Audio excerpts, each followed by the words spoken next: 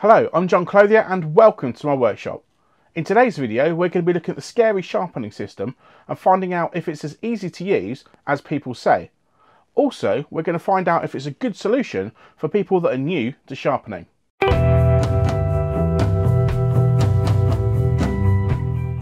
So as I said, we're going to have a look at the scary sharpening system and find out whether someone like me, who's never really done sharpening before, can use it and get good results.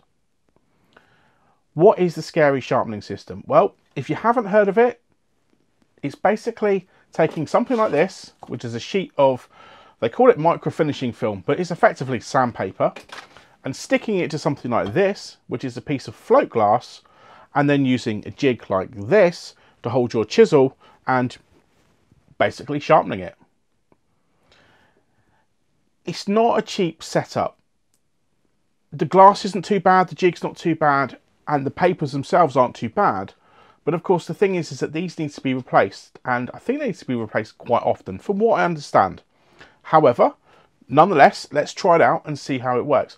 I'm not going to do a lot of this kind of work. I don't need to be using planes every day. I use a plane maybe every six months, maybe once a year, and I certainly haven't sharpened the ones that I've got. So I think it's a good solution for me.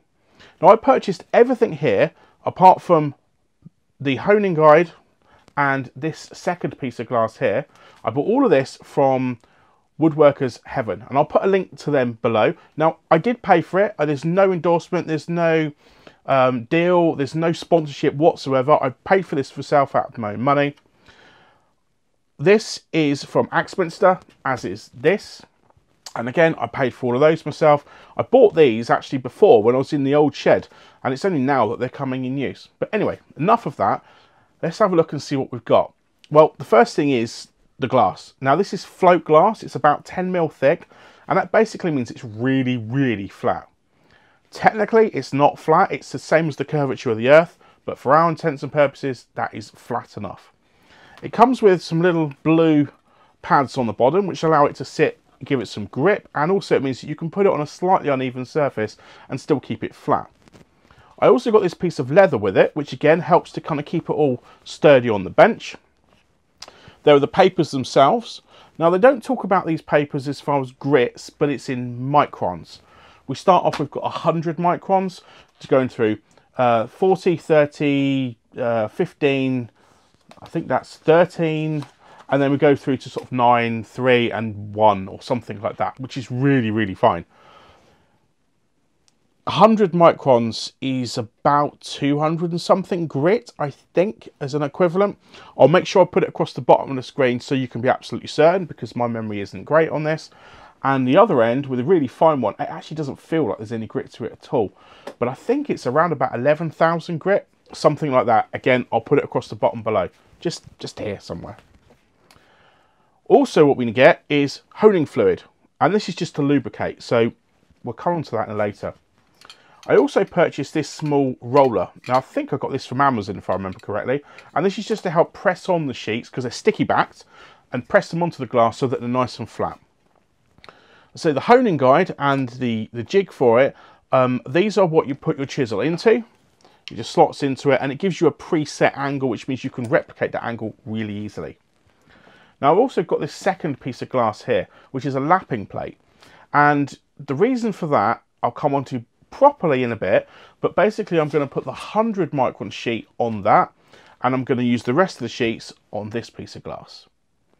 Now, as you can see, these come in A4 sheets, and that means they're way too big for the glass. So what I'm going to do first of all, with the exception of the 100 micron, is I'm going to cut them into four, four strips, and I'm going to stick one of each grit onto this and press it down with a roller. So let's get them all cut up and let's get them pressed on.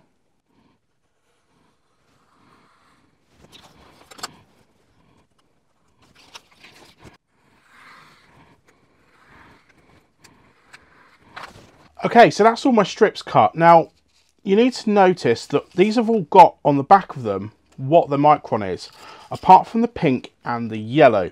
So it's just important to make sure that you don't get those two mixed up because you won't know which one is which, um, apart from the colour, of course. So I used the scalpel and cut them into about 70 mil. Um, I just basically divided them into four.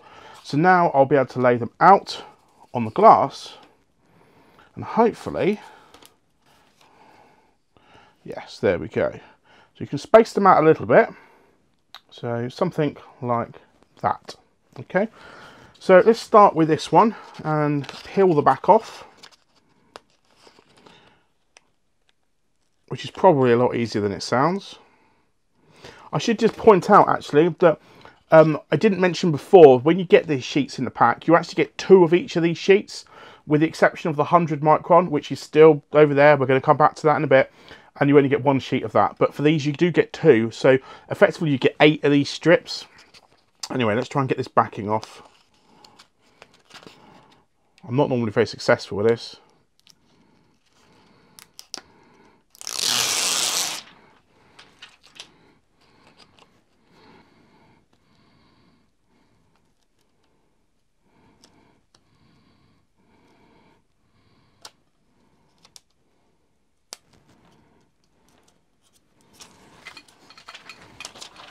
Right, push on with the little roller.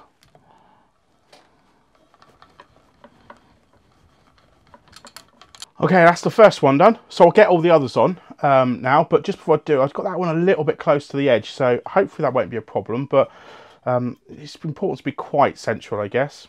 Um, also, I noticed that I'm getting a few little bubbles in between in the middle. I don't think there's really bubbles as such. Um, but it's just where it's just not pressing down. I don't know if it's going to make a lot of difference at this micron level.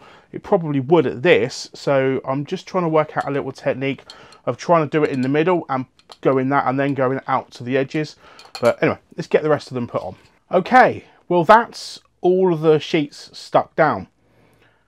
Didn't seem to matter what I did. I was still getting bubbles trapped underneath. I can still, and I can actually feel them. Um, so as far as is this easy? Well, there's the first thing that's a bit of a struggle. I did find as I was getting through it, I was getting better at it, and there's certainly less bubbles in these two than there are certainly up here.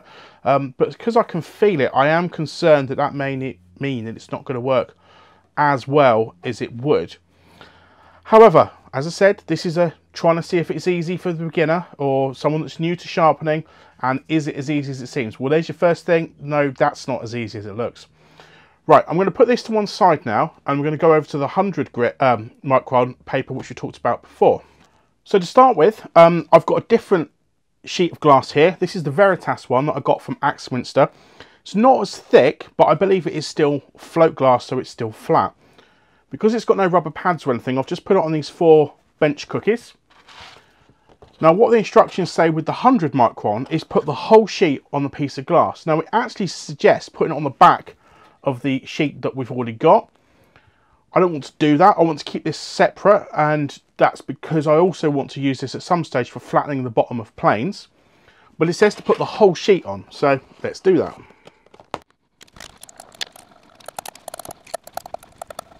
Right, well I actually found that a lot easier for some reason. Maybe it's because the sheet was bigger. I don't know, but I've got no real bubbles in that. Maybe it's a bit stiffer, who knows. Anyway, the reason why we put this on a different sheet is because the 100 grit isn't really used for sharpening. It's used to sort of help put, I keep saying 100 grit, I mean 100 micron. What it's really used for is for putting the shape on in the first place.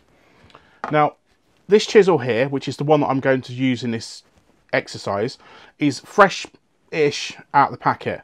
Now, it's been used, it's been used to put a couple of bits of the, I think I to put the lock on the door of the shed actually, but it's still fresh as far as sharpening is concerned. I've done nothing with it apart from take it out of the packet. I don't know if it will show up on the camera, but you can still see the grinding marks from when it was sharpened on a grinding wheel. The first thing you want to do, well, at least the two things you want to do when you're sharpening, is you want to put a nice polished edge on here and a nice polished edge on here. And the two polished edges coming together is what makes it sharp. So then what we do first of all is we do the back and get the back done on here before then putting a micro bevel on this edge on the other one. I hope that made sense. Did it make sense? It's supposed to be easy. Let's give it a shot. So the first thing we're going to do you're going to take this liquid, and it's called a Honrite number one. And it's basically like a, a, fluid that used to help lubricate, but it also helps all of the, the muck that comes off to kind of like from getting stuck into the, into the papers. So let's put a little bit of that on. Again, I've no idea how much, it just said apply. So I've put some in this area here, which is the bit that I'm going to be using. Then what I'm going to do is I'm going to take the chisel and you start by putting the heel at the back and resting that and then lean forward. Don't come in like that because you'll either wreck the chisel or wreck the paper. Start at the back, tip forward and then draw it backwards.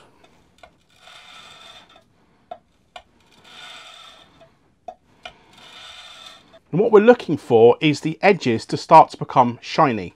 Not getting that at the moment, so I'm going to keep going.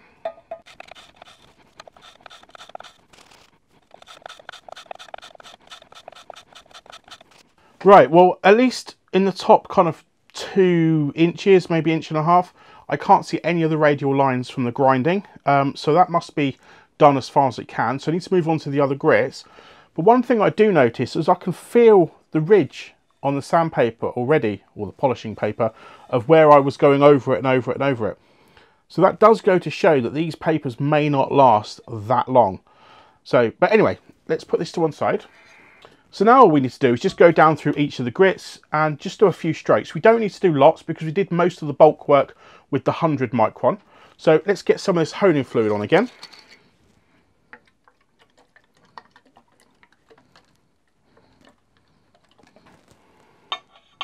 Same again, put the heel down first and then push into it.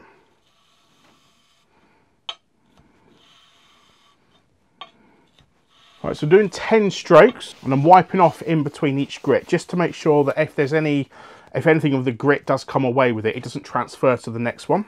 Right, well that's the bottom of that polished and it is nice and shiny actually. It's amazing how um, just a little dab with your finger and your fingerprint gets left behind and makes the whole thing look really messy.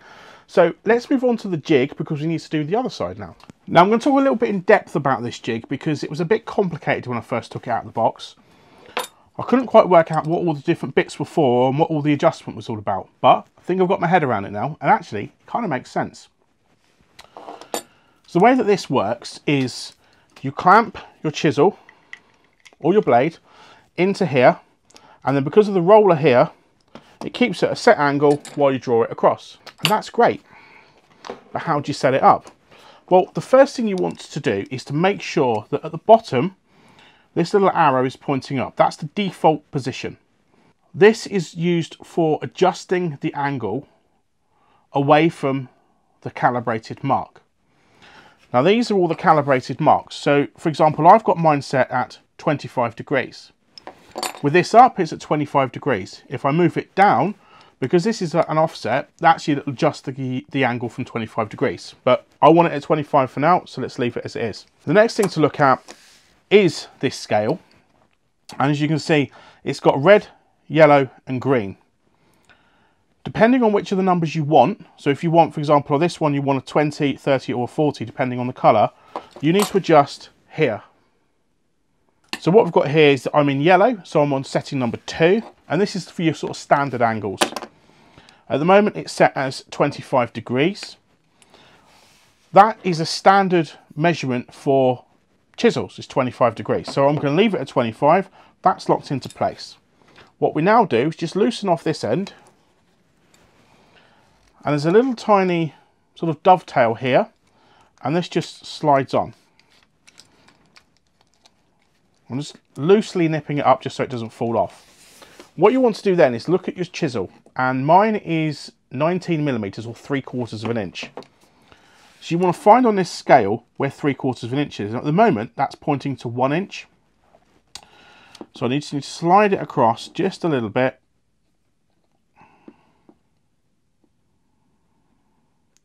So that's probably half an inch, so that'll be there. Right, so that's now locked at one and three quarter, sorry, at three quarters of an inch. The next thing is just to make sure that this bottom section is parallel.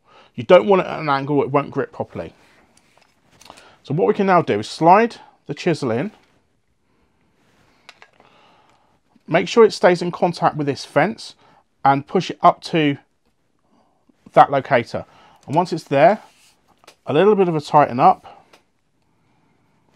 Double check to make sure it's square, which mine isn't. So I'm just going to adjust it until it is. And you adjust it by loosening one and then tightening the other one. And that should keep everything in place. Okay, so now we're set here, we can remove this. We don't need this anymore. And we're now set, well, in this case, at 25 degrees. Right, let's go back to the sanding, polishing, sharpening. So what we're going to do this time is turn it around. And that's because when we position it on here, we can only draw back so far because of the wheel. We don't want the wheel to fall off the edge. So I might as well reuse the same piece of sandpaper. So anyway, principle here is thumbs behind the back, press down on the edge of the blade and pull backwards. Having just looked at the instructions again, I should be on the 100 micron, not on the 40. So I'm just going to go into the 100, just give it a couple of strokes, just to make sure that we're nice and flat and that it's set at 25 degrees.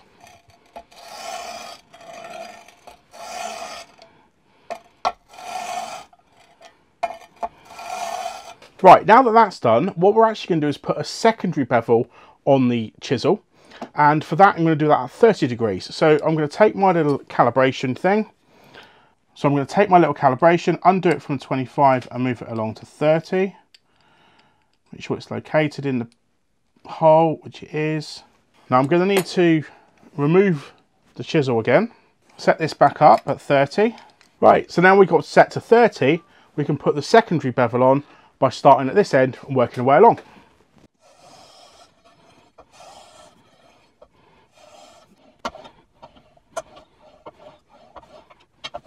Okay, so that should be sharp. My understanding is that there will now be a um, burr on the back side of here. So what we want to do is we want to move to the 9 micron. No, we don't. We want to move to the to the lowest, which is the green, and you want to start off the paper and just pull it across. And apparently that will be sharp. Now I know a test that people often use is to see whether it will cut the hair on your arm. Well, let's give it a shot.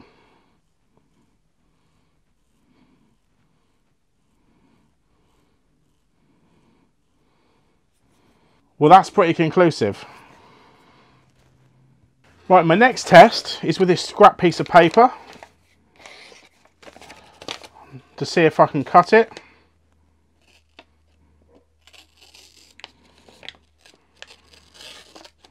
Yeah, well that's just, that, that is pretty sharp. Um, just pressing down on the paper is enough to push it through. So hopefully you can see that we've got the main 25 and then it's just a sliver of light. I don't know if that will pick up on the camera. And you should be able to see that that little slither of light is the sharp 30 degrees. And that is what gives us our sharpness. So that is pretty sharp. So what do I think? Um, well, I can cut my arm here. I mean, look at that. That means it's sharp. Sharper than anything else that I've ever sharpened before. So, yeah, is it okay for beginners? Yeah, I would say so. Um, is it easy to use? When you get into the sort of swing of it, it kind of is. I think kind of getting set up, um, certainly putting the, the sheets down without getting bubbles was a bit tricky, but and also getting it set up in the guide is a little bit tricky. Um, but it seems to work. So yeah, I guess I would say that it's as easy as it as it appears. Um, my line's not dead straight. I don't know if that's the chisels or the or one of the tools or my technique. Um, it looks fairly straight uh, though where it's been meeting in contact so I guess that's okay. Um, the acid test really is going to be in using it. Now I don't have a need to use these at the moment. This is just getting ready for the guitar build. So I'm going to get them all sharpened up and see how they get on when I'm on the next project. Anyway I'll leave that there. Um, so I'll put links to the where I got all this stuff from in the description below. Uh, I hope you've enjoyed this video thank you for watching. If you're new here, please hit that subscribe button. We've got loads of cool stuff coming up. More of this kind of stuff. We're looking at jigs. We're going to be looking at some tooling. Um, we're going to be making some tools and jigs. And we're going to be making the electric guitar. So stick around and I'll see you soon. Bye for now.